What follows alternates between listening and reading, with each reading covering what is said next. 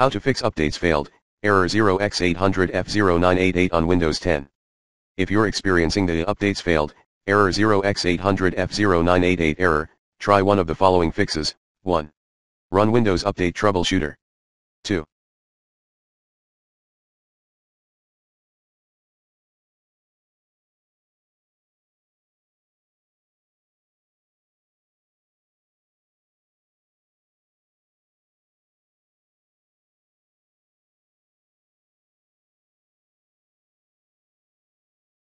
Run start component cleanup task using DISM, commands, dism slash online slash cleanup image slash start component cleanup and dism.exe slash online slash cleanup image slash start component cleanup slash reset base, or task scheduler, recommended input tasks.msc. In the run box and hit enter. Navigate to library backslash Microsoft backslash Windows backslash servicing backslash. Select start component cleanup, right click, and run. Restart the computer and re-update your Windows 10 later. 3.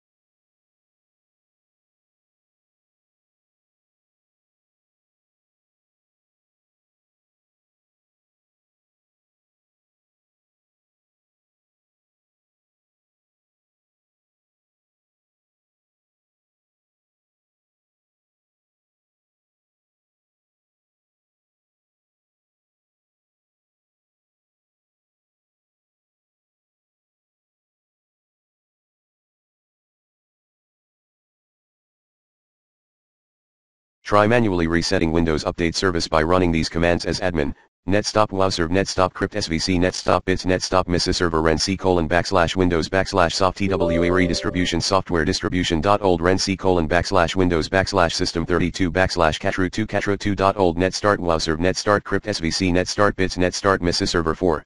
Install the updates manually that failed to install which are logged at settings update and security windows update installed update history and then search for those to download and install from Microsoft Update Catalog, http www.catalog.update.microsoft.com slash home.aspx.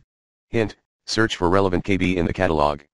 FYI, KB4515384 and KB4524147 had been noted to be problematic for some configurations, then remove those two updates from your Windows 10. If you have not installed update KB4524147, try the following, open start and type services. Open Services.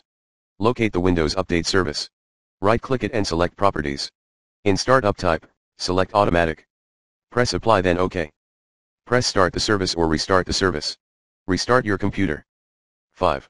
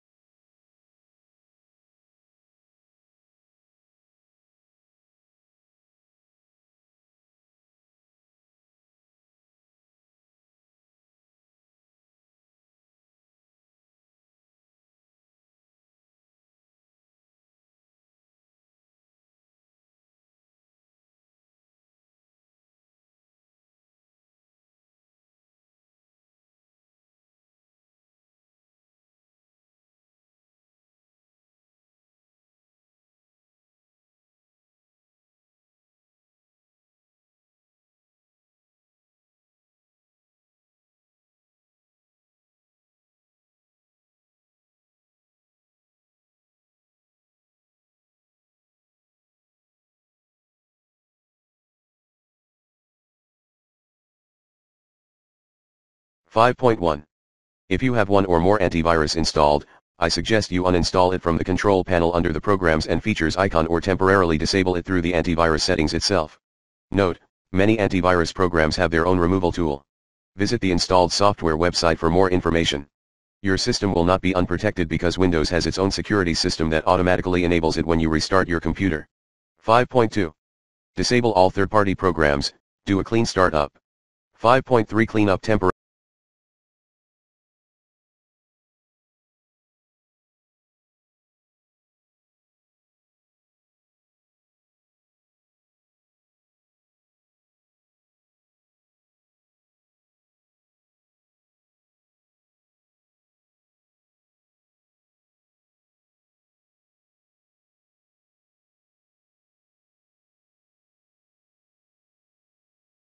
system files at %temp% under Windows Safe Mode or, by running CCleaner.